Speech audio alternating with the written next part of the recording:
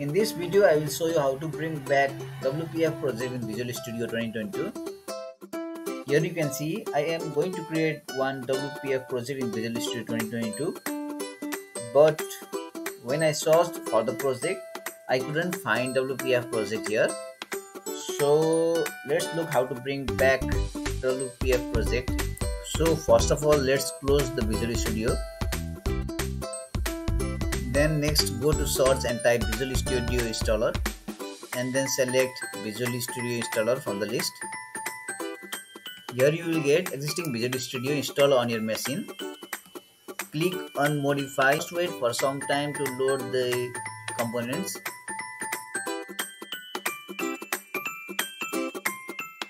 Then click on .NET desktop component under desktop and mobile.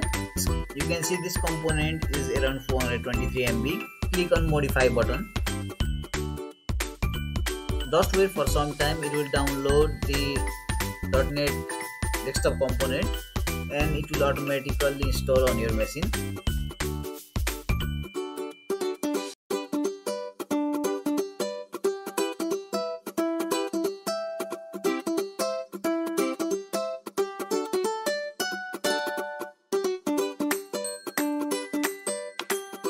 Now you can launch the Visual Studio by clicking on launch button next to your Visual Studio installation as you can see here.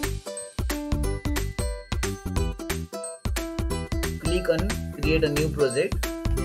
Now search for WPF and here you will get a list of WPF project. You can select your desired WPF then click on next button the name and then click on next button next click on create button. In this way we are able to create WPF application.